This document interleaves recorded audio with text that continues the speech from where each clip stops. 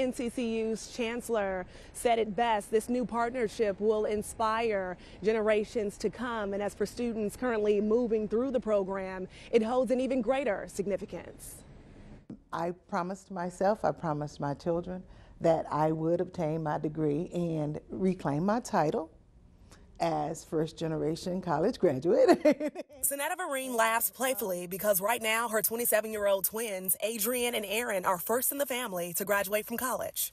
She's made a lot of sacrifices for them along the way, as her parents did for her. you want to know my story? Um, my mom did not have a high school diploma, and my father only went to third grade.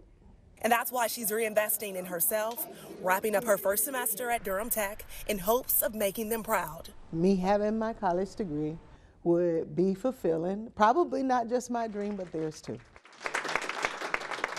Today, a new partnership was formed, making it easier for students like Sonetta to transfer from Durham Tech to NCCU to finish up their bachelor's degrees. It guarantees acceptance to Durham Tech students who meet the requirements and provides them early access to the university's resources, including the library.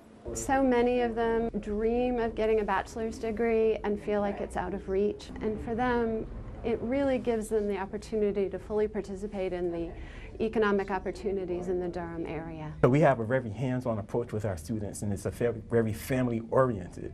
And I think that's another drive of HBCUs. Other students are excited about what this could lead to.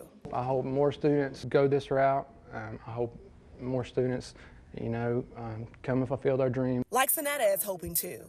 And even at 55, she realizes the possibilities for her career path are endless once she graduates from NCCU. You and my friends and my children are all speaking the same language.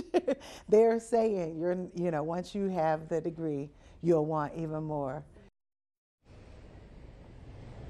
Will want even more. Okay, so those two students that I spoke to will be among the first to go through this program here at NCCU. I spoke to Durham Tech officials and they say about each year they transfer about 60 students to Central. They're hoping through this new partnership they could double or even triple their numbers. We're live in Durham. Akilah Davis, ABC 11 Eyewitness News.